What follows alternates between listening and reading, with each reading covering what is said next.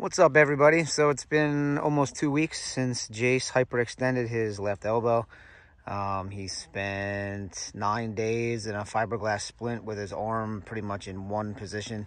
Um, that was also in a sling, so very little use.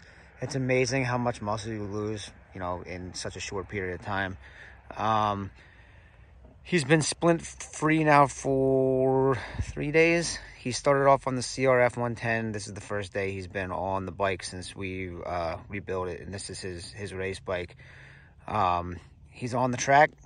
He's pushing through it a little bit here, getting ready for next weekend at Motorama. Um, it's definitely a help that we have this out back that you know he can practice on and uh, get used to riding again. So uh, we're gonna fire this thing up, take a lap.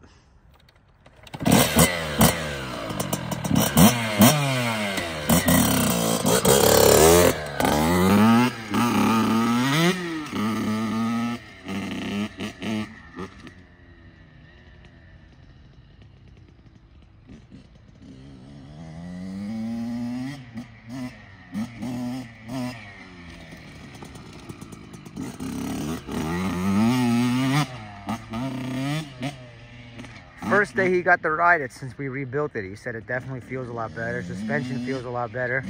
It's a lot quieter with the, uh, the new packing and the muffler too.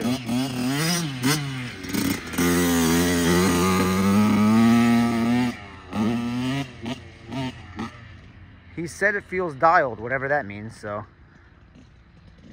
should be good. Hopefully the next videos are doing some arena cross in front of potentially thousands of people. I wish him a lot of luck. I'm glad that he got back on it and his arm's feeling better and looks like everything's going to work out in the end.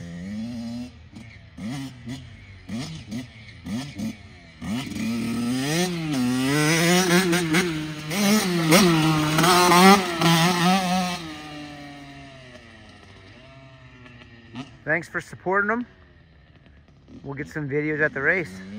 See you next week.